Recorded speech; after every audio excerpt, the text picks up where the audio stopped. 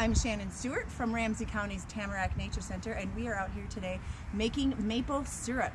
So we've already tapped a bunch of trees and we've collected a bunch of sap. I have some here in my buckets. Um, the sap looks just like water because it pretty much is mostly water. Our sap is about 2% sugar and we need to turn it into maple syrup to get 65% sugar. And we do that down here in our sugar shack and we do it by simply boiling the sap and letting all the steam escape until we've concentrated the sugars down to 65%. So in my sugar shack here, I have my evaporating pan. We start with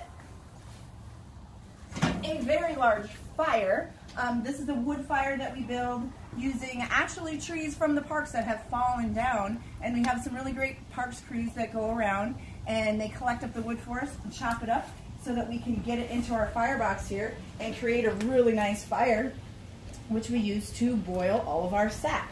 And so the sap goes into this pan right here on top of our fire.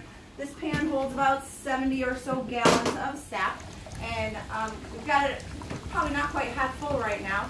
And it's boiling away. We've got a really nice cloud of steam going. So all of this water is leaving our sap. It's going out into the atmosphere.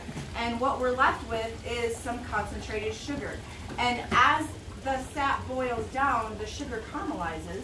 That is what gives the syrup its golden brown color. And um, when we get up to about 65% sugar, we will have syrup and we can then um, can it up, put it in some jars, and serve it up to whoever would like to have some.